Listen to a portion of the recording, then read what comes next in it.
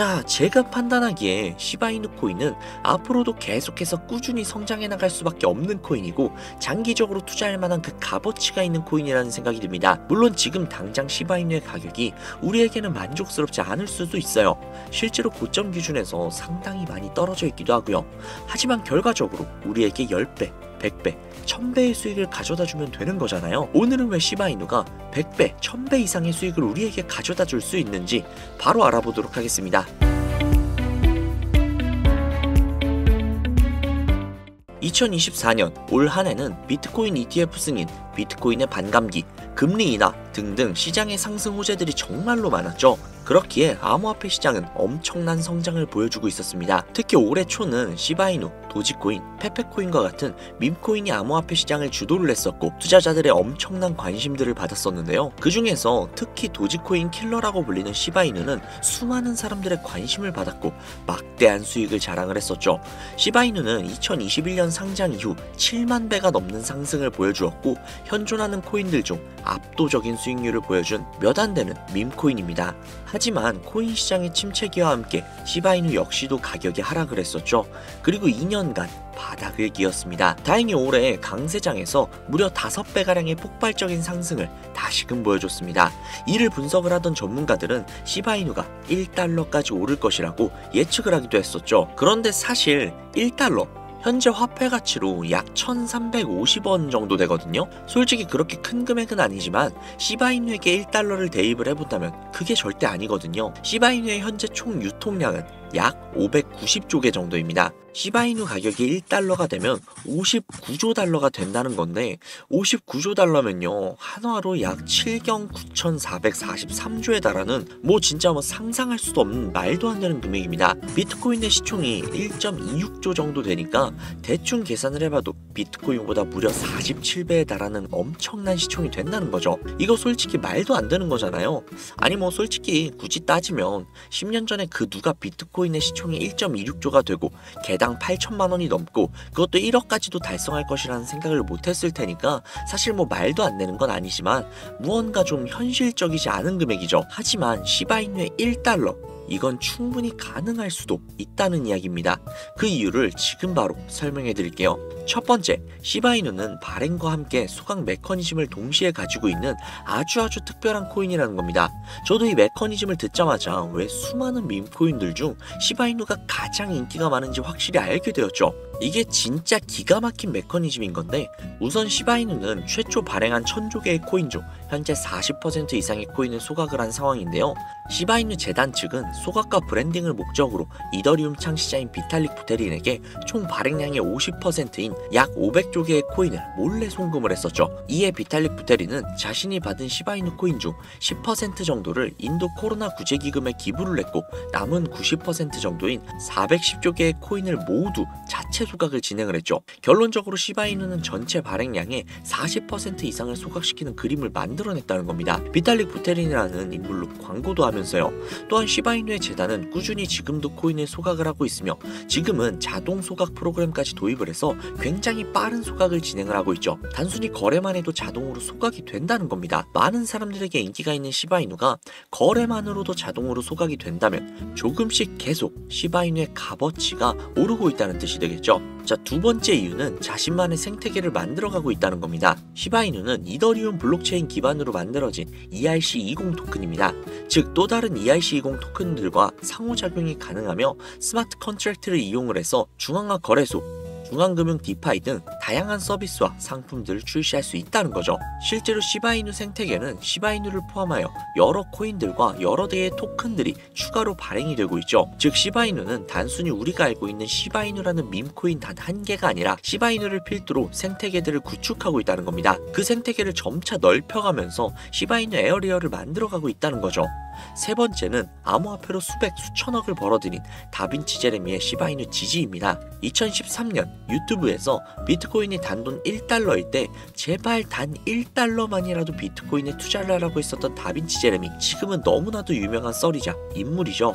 당시 다빈치 제레미는 비트코인에 전 재산을 투자를 하였고 지금은 막대한 부를 잃은 거물이 되었습니다. 그랬던 그가 지금 시바이누를 지지하고 있다는 건 상당히 의미 있는 소식이라는 거죠. 단순히 시바이누 시바이누를 밈코인이라고 생각을 하며 장난으로 만든 코인이라 여겼던 사람들이 시바이누에 대한 인식이 달라지게 될 만한 사건이었기에 수많은 투자자들이 시바이누에 관심을 갖게 되었다는 거죠. 마지막으로 시바이누의 메타버스를 들 수 있겠는데요. 메타버스? 그거 가상현실 아니야? 네 맞습니다. 시바이누는 현재 메타버스에서 수집 가능한 전용 카드와 보상 전용 토큰 역시도 준비하고 있으며 부동산 메타버스 역시도 개발 중에 있고 현재 게임까지 출시를 해서 그 게임이 굉장히 인기가 있다고 하죠. 추가로 AI까지도 준비하고 있다니 여기서 더 필요한 게 있을까요? 자 그러면 시바이누의 비전들을 함께 말씀드렸으니 앞으로 왜 시바이누가 올라갈 것인지 추가로 이야기를 해드리도록 할게요. 시바이누는 왜 올라갈 것인가? 시바이누는 기본적으로 DeFi 화폐, 즉 탈중앙화 코인이며 AI 관련 테마 선두주자인 그런 코인입니다. 실제로 Bad Idea라는 AI 기업과 협력을 해서 시바 AI를 개발하고 있죠. 여기에서 이 DeFi가 무엇이냐? 탈중앙화 화폐로 은행, 증권사, 카드사, PG사 등등 그 어떠한 기업이나 중앙기관 혹은 정부의 통제를 받지 않는 금융세계에서 인터넷만 있다면 블록체인 기술로 예금은 물론이고 결제, 보험, 투자 등등 다양한 금융 서비스를 이용할 수 있게끔 만들어주는 그런 시스템이죠. 이로 인해서 금융 서비스 진입 장벽을 낮추고 중개인이 없기에 거래 비용 역시도 절감할 수 있으며 금융 서비스 간의 상호작용으로 인해 각종 금융 시스템이 조화를 이루며 구축이 될 수 있는 혁신적인 시스템이라는 겁니다. 자 그러면 여기에 AI를 곁들인다면 어떠실 것 같나요? AI는 인간의 지능을 시뮬레이션해서 의사결정, 문제 해결, 데이터 분석과 같은 작업을 인간이 물리적으로 해낼 수 없는 빠른 속도로 수행을 할 수 있는 그런 기술을 뜻하죠. 즉 DeFi와 AI의 기술력이 결합만 한다면 중앙기관의 간섭 없이 인간은 감히 상상할 수 없는 빠른 데이터 처리 속도로 개인의 금융자산을 직접 통제를 해서 막대한 이윤을 발생시킬 수 있다는 것이죠. 물론 이 과정까지 도달을 하려면 부가적인 문제점들을 해결해야 한다는 시바이누의 숙제가 남아있지만 가능하다는 게 중요한 거 아니겠습니까? 즉 시바이누의 비전은 놀라울 정도로 대단하다는 겁니다. 자 구독자님들 혹시 미국의 거대 거래소 로빈후드 알고 계신가요? 로빈후드는 대표적인 zero commission 즉 수수료가 없는 거래를 지원을 하는 거래소거든요 실제로 미국에서 엄청난 점유율을 자랑을 하고 있죠 그리고 해당 기업은 나스닥에도 상장이 되어 있는 기업입니다 이런 로비누드라는 거대한 기업에서 시바이누를 초거대 물량을 매집을 해서 시바이누 보유량 전체 3위에 올랐다는 건 이미 너무나도 유명한 이야기죠. 그리고 혹시 페이팔이라는 회사도 들어보셨나요? 페이팔은 미국의 간편 결제 및 송금 서비스 기업인데요. 시총만 무려 640억 달러로 한화로 대략 88주에 달하는 어마어마한 기업입니다. 이게 어느 정도인지 국내 기업과 조금 비교를 해보자면 코스피 3위에 위치하고 있는 LG 에너지 솔루션보다도 훨씬 더 거대한 기업이라는 거죠. 쉽게 설명을 해서 미국의 삼성페이라고 생각을 하시면 되는데요. 이 기업이 미국에서 점유율이 무려 50% 수준이라고 합니다. 정말 대단하죠? 그만큼 미국, 아니 전 세계에서 인정을 받는 기업이라는 건데요. 이런 세계적인 기업에서 시바이누 코인으로 결제가 가능하다는 겁니다. 이미 시바이누의 비전을 확실하게 알고 있다는 거죠. 자, 그러면 이렇게 생각을 해볼게요. 시바이누의 궁극적인 목표가 혹시 뭐라고 생각하세요? 탈중앙화 DeFi 코인으로 전 세계 어디든 중앙기관의 영향을 받지 않고 거래 및 결제가 가능하다. 시바이누의 AI를 개발 중에 있고 웹 3.0 mainnet 및 게임도 개발 및 출시를 한 상태이다. 저는 시바이누의 비전이 이것 말고도 정말 무궁무진하지만 제가 이것을 꼭 집어서 말한 이유는 바로 DeFi, AI, 웹 3.0 딱 이 세 가지가 시바이누의 확실한 비전이라고 생각을 하거든요. 자 그러면 여기에서 한 가지 생각을 해볼게요. 지금 현재 전 세계의 최대 강국이 어디죠? 네 맞아요 미국이죠. 미국은 우스갯소리로 미국과 나머지 전 세계의 국가들이 전쟁을 펼치더라도 미국이 절대 밀리지 않을 거라는 이야기가 있을 정도의 엄청난 초강대국입니다. 단적인 예로 미국의 2022년 국방비 순위를 보시면 미국의 국방비 금액이 2위인 국가부터 10위인 국가의 국방비를 합친 것보다도 무려 23%나 많은 금액을 국방비로 쓰고 있다는 겁니다. 물론 이것만으로 단순 군사력을 비교할 수는 없겠으나 이 정도로 엄청난 초강대국이라는 거죠. 이 이야기를 왜 하냐면 미국은 전 세계의 패권을 쥐고 있는 강대국이라는 겁니다. 단순히 군사력뿐만이 아니라 경제력으로도 말이죠. 요즘 시대는 힘으로 찍어 누르는 시대보다 자본주의 세상이기 때문에 경제 패권이 엄청나게 중요하다는 거예요. 지금 전 세계 공용 화폐로 쓸 수 있는 유일한 화폐는 바로 달러죠. 하지만 이제는 세상이 많이 바뀌고 있어요. 언제부턴가 현물 화폐보다 편리하고 안전하며 유동성마저도 뛰어난 암호화폐가 탄생을 하고 말았죠. 이 암호화폐가 탄생을 하고 오랜 시간이 지나지 않아 달러의 패권이 달러의 입지가 조금씩 흔들리기 시작을 했고 지금의 수많은 암호화폐들이 달러의 자리를 위협을 하고 있는 상황입니다. 앞으로 암호화폐가 달러를 잡아먹게 된다면 미국의 미래는 전 세계에 패권을 줄 수가 없게 되겠죠.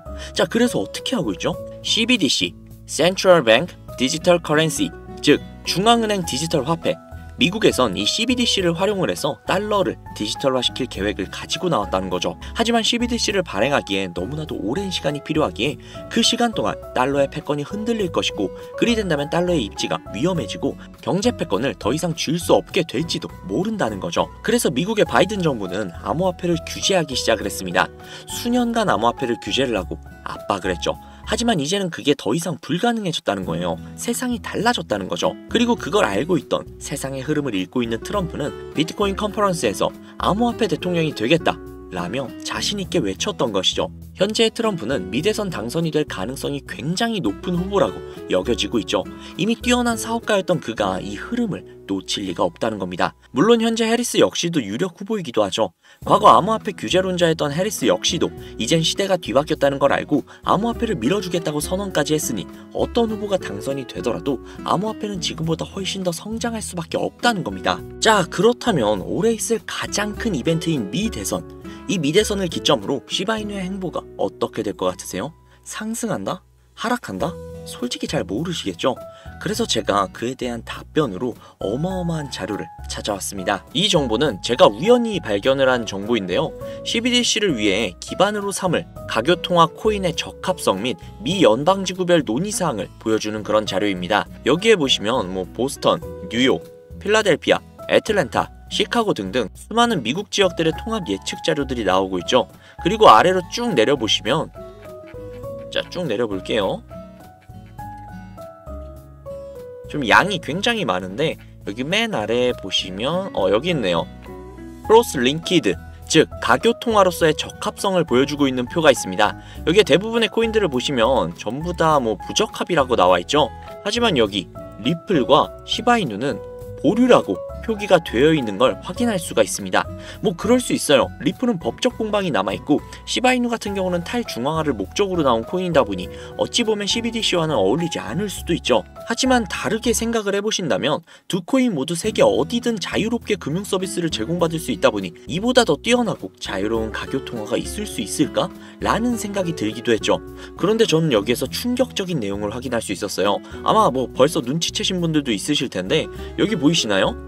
리플과 시바이누조차도 보류로 나와 있는데 이 생소한 코인이 TBA 적합이라고 나와 있습니다. 진짜 너무나도 생소한 코인이었어요. 그래서 제가 이 코인에 대한 정보를 좀 찾아봤는데 정말 신기할 정도로 노출되어 있는 정보가 거의 없었습니다. 그런데 바이낸스에 이 코인이 상장이 되어 있더라고요. 저는 그래서 의구심이 들었습니다. 전 세계 은행을 이을 수 있는 가교 통화 자리에 아무도 모르는 코인이 그것도 정보도 별로 없는 코인이 리플과 시바이누보다도 높은 자리를 선점을 하고 있다? 그리고 신기할 정도로 정보가 완벽하게 통제가 되어 있다? 아무리 봐도 너무 이상해서 곰곰이 생각을 해보다가 있을 미대선이 떠올라서 혹시 4분기에 이 코인을 가교통화로서 밀어주려는 건가? 라는 생각이 확 들더라고요. 그래서 바로 국내 거래소 중 가장 거대한 거래소인 업비트를 확인해 봤는데 놀랍게도 저번 달에 이미 상장이 되어 있었습니다. 그뿐만이 아니었죠. 일본의 비트플라이어, 중국의 후오비, 미국의 코인베이스, 유럽의 비트스탬프, 인도의 와지르엑스, 두바이의 바이비트 등등 전 세계에서 내놓으라 할 가상화폐 거래소에 모두 4분기 상장 예정 코인으로 올라와 있었습니다. 이제야 이해가 되기 시작을 했죠. 이 코인을 말미삼아 미국이 다시 한번 전 세계의 경제 패권을 쥐려고 하고 있는 것 같습니다. 미 대선에 발맞춰서요. 즉 대선 관련 코인주이며 가교통화로서 활용 가능한 CBDC 코인이라는 것이죠. 앞서 영상에서 보여드린 대로 이 코인의 가격대는 아직 그리 높지 않습니다. 하지만 꾸준히 우상향을 하고 있다는 거예요. 이 소리는 이미 돈이 있는 사람들은 어느 정도 눈치를 채고 물량을 잡아두고 있다는 겁니다. 혹은 은행들이 물량을 잡아두고 있는 것으로 볼 수도 있죠. 하지만 잘 생각해보세요. 전 세계의 가교통화, 기축통화로 공표가 나버리면 그때 이 코인의 가격이 얼마나 오를 것 같나요? 10배? 100배? 고작 그 정도밖에 안 오를까요? 저는 과거의 시바이누, 페페코인처럼 수천, 수만 배 상승할 것이라고 확신할 수 있습니다. 전 세계가 공용화폐로 쓸 텐데 수천 배 이상 상승하지 않는 게 솔직히 말이 안 되죠. 하지만 기축통화, 가교통화라는 것은 어느 정도 안정적이거나 가격의 변동성이 그렇게 크지 않아야 하기 때문에 공표가 나기 직전이 가장 큰 상승을 보여줄 때라는 것이죠. 그래서 이 미국이 밀어주고 전 세계의 은행들이 매집을 하고 있는 이 코인을 지금 바로 매수해야 된다는 겁니다. 그래서 제가 이 정보를 알아내고 너무 신이 나서 구독자님들에게 알려드리려고 진짜 여러 번 영상을 촬영을 해서 올렸거든요. 코인명까지 진짜로 오픈을 해서요. 그런데 영상이 안 올라가지는 거예요. 아, 이게 유튜브 측에서 자체적으로 필터링이 되는 것 같더라고요. 언급을 안 하고 모자이크만 풀어도 바로 그냥 필터링이 되어버려요. 그로 인해서 벌써 유튜브 측에서 경고를 두 번이나 먹었어요. 이거 진짜 한 번만 더 경고 먹으면 이 코인 정보가 나발이고 그냥 앞으로 구독자님들께 좋은 정보를 알려드릴 수가 없거든요. 그래서 진짜 어쩔 수 없이 제가 상단부에 제 개인 번호 적어둘 거거든요. 보이시죠? 제 개인 번호예요. 010-5734-8420 010-5734-8420 이 번호로 숫자 7 적으셔서 문자 보내주시는 분들에게 앞서 말씀드린 기축통화, 가교통화로서 전 세계가 매집을 할 그 코인 그 코인의 정보를 제공해 드리도록 하겠습니다. 제 구독자님이신 걸 확인한 후에 바로 제공해 드릴게요. 확인 작업이 어느 정도의 시간이 소요가 되다 보니 조금이라도 빠르게 정보를 받아보시고 싶으신 분들은요. PC 버전은 아래 더보기란을 클릭을 하신 후 나오는 링크를 누르셔서 정보를 남겨주시면 더욱더 빠르게 정보를 받아보실 수 있고 모바일 버전은 시간 옆에 더보기란을 누르셔서 아래로 내리시면 링크가 나오니까요. 영상을 다 보신 다음 해당 링크에 정보를 남겨주시면 보다 더 빠르게 정보를 받아보실 수 있습니다. 요즘 저를 사칭을 해서 정보를 팔아먹으려고 하는 악질업자들이 너무나도 많이 늘어나고 있습니다. 제보가 진짜 빗발치고 있어요. 다시 한번 말씀드릴게요. 저는 절대로 금전을 요구하거나 멤버십을 가입 유도를 한다거나 아니면 뭐 어디 회원 가입을 하라는 등 혹은 개인정보 등을 요청을 절대로 하지 않아요. 그런 사칭범들이 워낙 많아서 문자 보내주시는 분들 한 분 한 분 제 구독자님이신지 확인 후 공유해드리다 보니 약간의 시간이 소요가 된다는 점 다시 한번 양해 부탁드릴게요. 저는 진짜 많은 거 안 바래요. 오로지 제 채널을 키우기 위해 제 영상을 보시고 제 채널 구독, 좋아요, 알림 설정, 그리고 댓글 정도 남겨주시면 저는 그걸로 정말 만족합니다.